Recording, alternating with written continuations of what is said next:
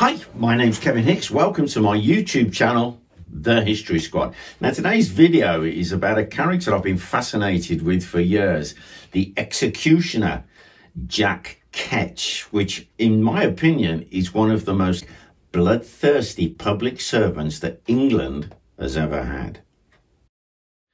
So, Jack Ketch, appointed as public executioner 1663. He was a public servant, paid to do the job.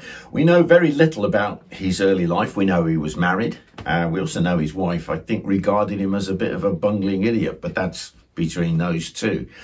He was famous as the hangman for the Tyburn Triple Tree, and that could hang dozens of people at once. But he appeared to play to the crowd. The more I read about him, the more I think to myself, this, this guy was a showman, a sadist, or was he just a simpleton playing to the crowd? However, his victims could be made to suffer. You didn't have a long drop on the Tyburn tree and then snap. This is what Ketch used to do. You will have already come the distance from Newgate Prison in London to the outskirts to the Triple Tree, Tyburn. The rope will be tied up to the beam, put round your neck, tightened. This is the knot they used, yeah, but a much thicker rope. This is just for you to see. You would then be stood on the edge of a cart a horse and cart, nothing else, no long drop. And the cart would simply be pulled away and you will swing off it and you will choke to death. He could make you dance, dangle. And people had this love hate relationship with Jack Ketch. You know, was he this evil man? Was he sadistic or was he just giving everybody, you know, a performance for their money? It's awful to think, isn't it? Because he was playing with life and death. Well, this got into the psyche of the Londoners. So much so that the Punch and Judy shows that used to be around, they changed the villain. Punchinello used to beat the devil, but they changed it. He beat Jack Ketch. He used to beat him with a slap and a stick, where they get the saying slapstick for slapstick comedy. But there's actually an image showing Punchinello, Punch and Judy, hanging Jack Ketch and showing him how to hang someone correctly. Now, Jack Ketch, already notorious as a hangman, on the 21st of July 1683, he becomes an axeman. This is the execution of Lord Russell. Uh, it was part of uh, a plot to assassinate both Charles II and James II. This is uh, quite a period of history, becomes the Monmouth Rebellion. Well, Lord Russell, he is found guilty of treason. There's this whole plot around him. Jack Ketch is simply told, You're going to have to cut off his head. He'd never wielded an axe before in his life. And poor Lord Russell can smell beer, ale on the breath of Ketch. He's nervous. So he gives him 10 guineas and asks him to do a good job. He then kneels down, and what happens now? He's actually awful. The first blow misses the head and the neck completely, but splits the shoulder. Can you imagine the agony of having an axe woof straight through your shoulder? He then pulls it out. Now I know from experience using an axe, not on somebody's head, but once it's in the ground, it's in the wood or it's in a piece of meat, you've got to really pull it back.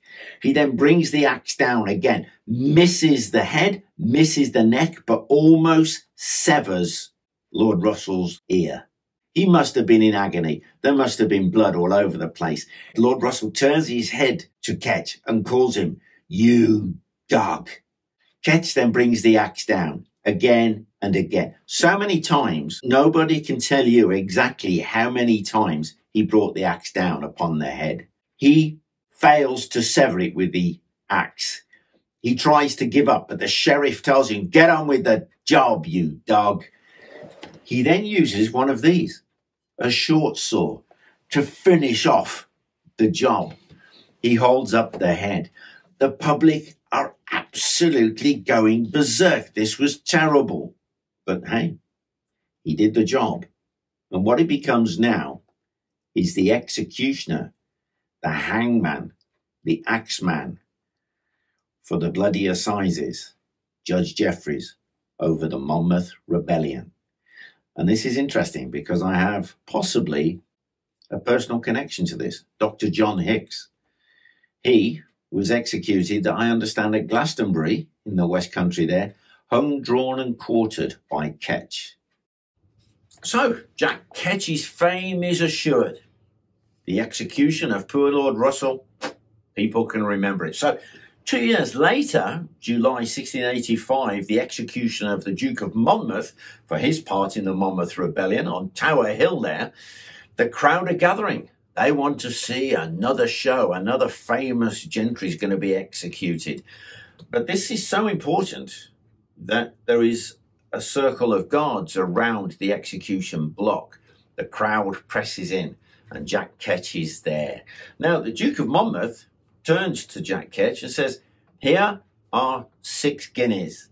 Don't hack me like you did my friend Lord Russell. My servant has more gold for you if you do a good job. So the Duke of Monmouth bows his head to the block, kneels down, places his head over the block. The first blow didn't hit the neck squarely. Neither did the second. This man, the Duke of Monmouth, must have been in agony, blood spurting everywhere. Now, scuffles break out in the crowd. There is going to be trouble. The guards have to turn away from the execution to put down people, push them back. They say it took five blows to actually sever the head. Now Jack Ketcher struck again. He will now have to be escorted from the scene by armed guards. So angry were the crowd. So this business with Jack Ketch is interesting, isn't it? You know, this the execution of the Duke of Monmouth. If he'd have done it right, if he'd have severed the head one, maybe two blows, he'd have had an extra bag of gold. So it begs the question, doesn't it? Uh, was he bribed, ordered by the king to make these executions as violent and painful as possible? Or did he just not care about the money? Did he hate the aristocracy? Or was he a bit of a bumbling fool like his wife thought? Let's have your opinion. Let me know in the comments section what you think about Jack Ketch, the infamous executioner. So we have a bit of an insight into what Ketch may have really been like. Uh, it talks about uh, Ketch's kitchen, which was the place where he took the severed heads and the quartered bodies to be prepared for public display. And we have an eyewitness account. Thomas Ellwood, who was a friend of John Milton, the poet, who was in um, prison, in Newgate prison, for uh, something he'd done. He was a religious reformist. And he bore witness to Jack Ketch bringing in the severed heads of some of the victims. And this is what he had to say. When they were brought up to be boiled, the hangman fetched them in a dusty, dirty basket out of some place. And setting them down among the felons, he then made sport with them.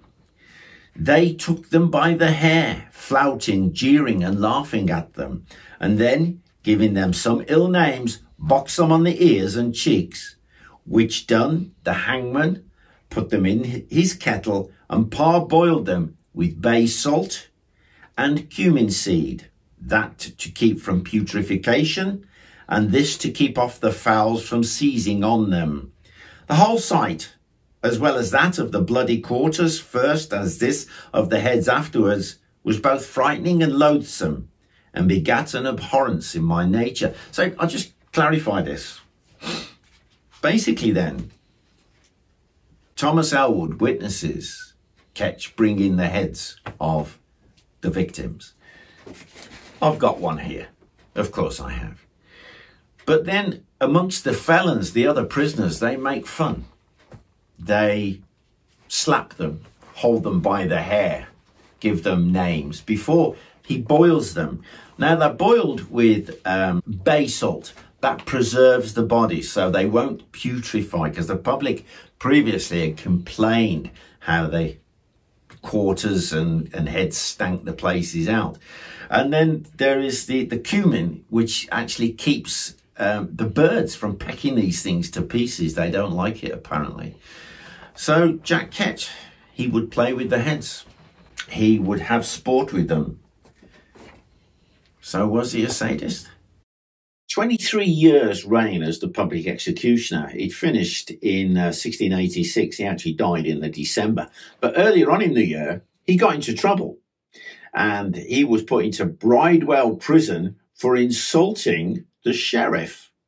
Now, his replacement, Pascha Rose, who was a butcher by trade, wasn't in office for very long because he himself was hanged for burglary. So they had to fetch Jack Ketch out of prison, but he didn't last long. December of that year, he died.